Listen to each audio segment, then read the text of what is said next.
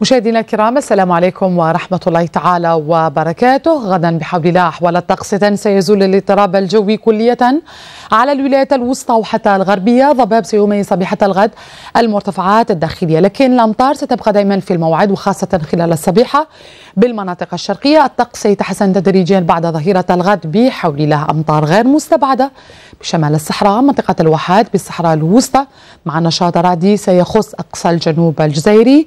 الأجواء غائمة جزئيا بالنسبة للمناطق التي تقع بالجنوب الغربي للوطن.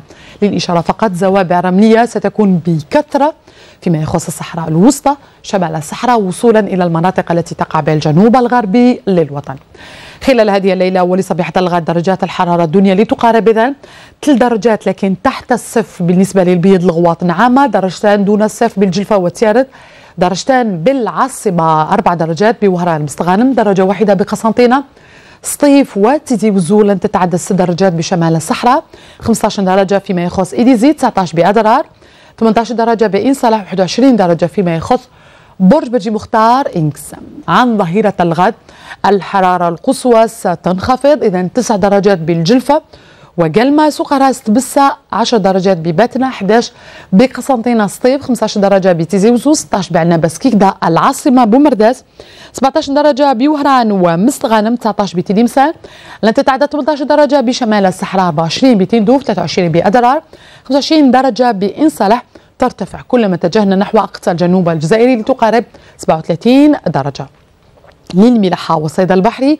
البحر سيبقى قليل الاضطراب على طول الشريط الساحلي. سرعة الرياح لتقارب 30 كيلومتر في الساعة.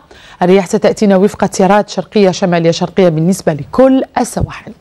هذه أحوال الطقس هنا بالجزائر. خارج الوطن إلى أمريكا الشمالية إن الثلوج ستكون في الموعد بالنسبة لمونريال مع 3 درجات. دون الصفر نيويورك الأجواء غائمة كلية مع 9 درجات نفس الأجواء بواشنطن مع 15 درجة ميامي 26 درجة. الأجواء مشمسة تماما بمكسيكو مع 26 درجة نفس الأجواء بدالاس مع 21 درجة. 28 بكاليفورنيا وفي الأخير فانكوفر أن الأجواء ستكون ممطرة تماما. درجات الحرارة القصوى لن تتعدى 12 درجة. أما عن شروق الشمس لخص الجزائر العاصمة وضوحها نهار الغد الفاتح من شهر مارس سيكون في حدود الساعة السابعة صباحا و18 دقيقة عناوين مصلحة أرصاد الجوية. تبقى دائما في الموعد. أشكركم على المتابعة. في أمان الله.